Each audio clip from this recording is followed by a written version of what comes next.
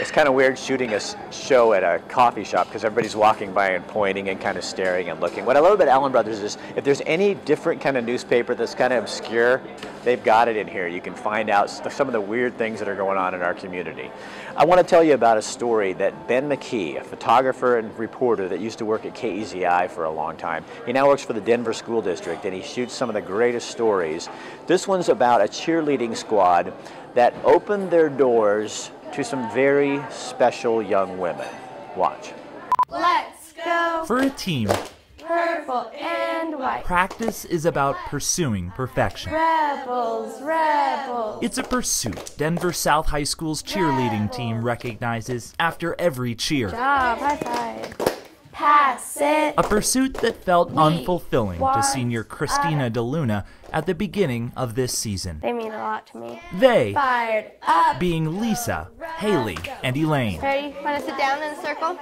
Yeah. Yeah. Three girls Christina met while she was looking for something deeper. I wanted to work with special needs kids in the future and right after I graduate college.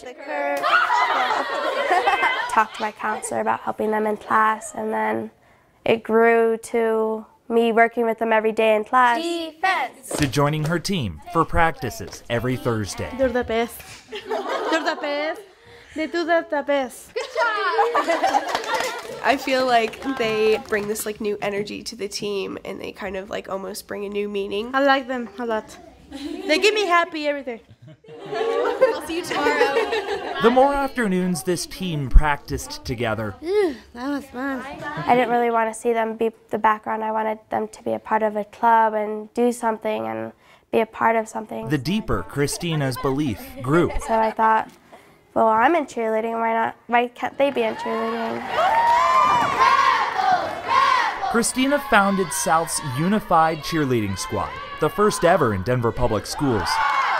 It's part of a growing number of DPS Special Olympics unified sports teams throughout the city. Good job, boys. Good job. They've gone a long way, honestly. Like since the beginning, they used to be very shy and wouldn't be very outgoing.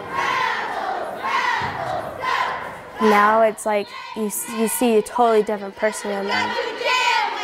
The new cheerleaders are not only team members who see themselves differently,